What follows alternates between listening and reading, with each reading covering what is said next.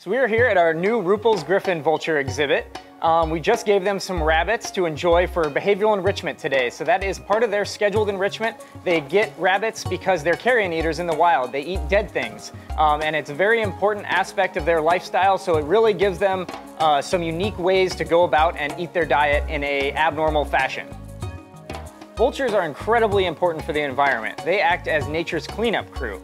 So Rüppell's Griffon vultures out in the wild actually go out there and eat dead animals that have either died naturally um, or of diseases, and they will help clean that up. Their stomach acid is actually so uh, acidic that they can take in parasites, they can take in even botulism and actually be able to survive doing that. Uh, and that is why they're so important to the environment. They take away those carcasses from being out there and rotting and creating more disease for other animals. So they're one of the most incredibly important animals out there in the ecosystem.